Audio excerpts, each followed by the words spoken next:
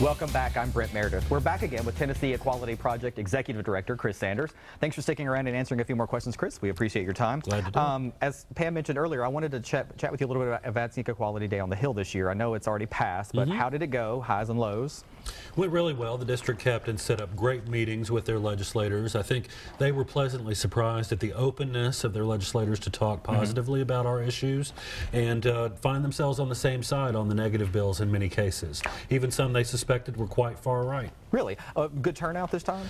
Yes. Uh, we had uh, more than half the Senate covered and more than a third of the House, which I thought was really good. So, yeah, fantastic. Pleased. So, let's talk a little bit more about the, and I, I, I hesitate to say it, the Religious Freedom Restoration Act, but the, uh, uh, that we were talking about earlier. Yep. Um, now, Indiana has taken a lot of flack about it, it, but it's not all that uncommon of a law. And that's, the, that's sort of the angle I wanted to talk about for a second. There was one actually signed by President Clinton when he was in office. Could you explain the difference in that and yep. why are they pointing to that now with a different intent. It's a common name for a lot of laws. It doesn't mean the laws are all alike. Exactly. Um, what the Indiana law does is pit citizens against one another or businesses against citizens in some cases. Mm -hmm. Tennessee's law protects citizens from government action or religious bodies from government action. For example, you remember the case of the mosque that was trying to locate in Murfreesboro? In Murfreesboro, yeah. It Was having all that trouble. The Religious Freedom Restoration Act that Tennessee passed uh, protected that mosque from a majority that was hostile to it. Yeah. And that's really what ours does. It protects um, worship and belief and it really doesn't pit citizens against one another like the Indiana law does. Well, and I appreciate that, that, that explanation. It was very well said because there is a distinct difference in protecting religion versus discrimination right. under the guise of religion. That's right. Um, now, what about Governor Pence's attempts to sort of fix the law? As I was saying earlier, that was one of the things we talked about. He, he said he wanted legislators to go back and rewrite and make sure that there was no discrimination in it. Well, then, so what does that even mean? Well, when does a fix uh, become better than a repeal of the law, which right. is something they could do? Uh, well, and when does when does admitting that it needs to be fixed? I mean, you basically just said the law needs to be fixed. That's right. I don't think it's just a perception issue. I don't think it's merely a matter of clarification. I think it's a matter of there would have to be significant amendments or a repeal. Yeah, and as you mentioned before, in the, or in the last segment too, we talked about the mini Indy version, our bill here in Tennessee, and yep. how it was tabled for a while, but we need to keep an eye on it for next year. Right. Do you think it'll come back in the same same incarnation, if you will, or, or, or I think that one could very well yeah. be back. I think also we could have an Indiana-style bill. They tried to pass one in Tennessee last year, yeah. and it failed. Uh, I think after we get marriage equality in Tennessee, when the Supreme Court rules, then the slew of negative bills will come. So we'll see. Yeah, so they're going to ride it out, see what happens here, see what happens with the Supreme Court, and then they'll probably tailor their bill in a different fashion. I believe so. Um, now, uh, TEP is hosting the Nashville Marriage Plus rally on mm -hmm. the mm-hmm. eve of the Supreme Court oral arguments. I'll yep. spit that out. Um, tell us a little bit about that and how that's put, how that's come together. Well, we're delighted that Nashville in Harmony is going to be there performing, but yeah. we're also going to have a number of individuals speaking uh, about the plus part of it. Everything we've got to work on uh, when marriage equality is all said and done. Job discrimination, bullying, homelessness of LGBT youth, on and on and on. All the issues that affect our community are still going to be there.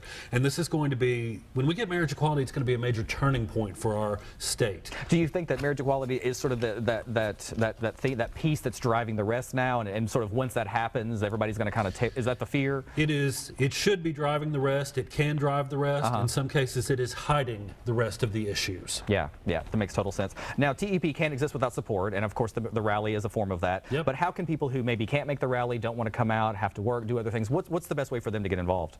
Uh, well, they can go to our website, tnep.org. There are ways to volunteer. They can certainly contribute. Uh, we will need them at various times, not just when the legislature is in session, but we will have all kinds of educational pro programming. This summer, we're launching a Summer of Love tour across the state to hit the rural areas uh -huh. that we are not hitting right now. Yeah. We want to be accessible to everybody, so we're going to try and to make it happen. And I laugh because I love the name. Well, I do too. I love the name. I Summer do too. We're going to bring the love. So now in next week's show, uh, we talked a little bit about this before we started taping this segment. Um, but in next week's show, I'm going to have a, sit down with a local pastor. Yeah. Um, we're going to talk a little bit about the Religious Freedom Act and I'm sorry, forgive me, marriage equality yeah. and religion, and, yeah. and kind of how that comes together here locally and across the state. What is your sort of take on that? Do you feel as though that that the religious divide there is truly over just a few passages in the Bible, or is there more to it? Uh, I think it's uh, the Bible in some ways or interpretation of it, but I think it's also what people are accustomed to, and it's just going to take more time. But when you have that courageous church like the one in Franklin that's leading, that's going to help open eyes. And No, hearts. Very much so, because I mean, for the, for, especially for the one in Franklin, and I, and I've actually reached out to the pastor of Centerpoint. Um, he may be joining us in, in the future as well. Mm-hmm. Um, they lost half of their half of their congregation. There was a church, I believe, in Sure. California that did the same thing. Basically, they said they weren't going to ask their LGBT members to remain celibate. They were going to allow them to be who they are in Right. church. Um, do you think there's sort of a movement there in the sense that if, if these churches keep doing this, that that will open more eyes? Or I think so. It's going to be painful at first because there will be growing pains and lost pains. Yeah. But in time, people will come back and say, you know, you were courageous, you stood for something, and that's the gospel that I believe in. Fantastic. Now, I know you mentioned uh, earlier in the other segment the next session is what we need to be keeping an eye out for. Are there anything, is, do you see anything rumbling right now that people need to be paying attention to other than what you mentioned then? Family Action Council is preparing for some kind of so-called Religious Freedom Restoration. Act that's bigger. They've made no secret of that whatsoever. They've been inviting the leaders from Arizona's movement in to talk to Tennessee legislators and the public in their own activists, so that's what they're prepping for. Interesting. Okay, well, listen, thank you so very much, Chris. We'll have you back soon again, I'm sure. Great. I appreciate the time. Thanks so much. Um, and we'll be right back with a look at Nashville Film Festival and the Entertainment Outlook, so stay with us.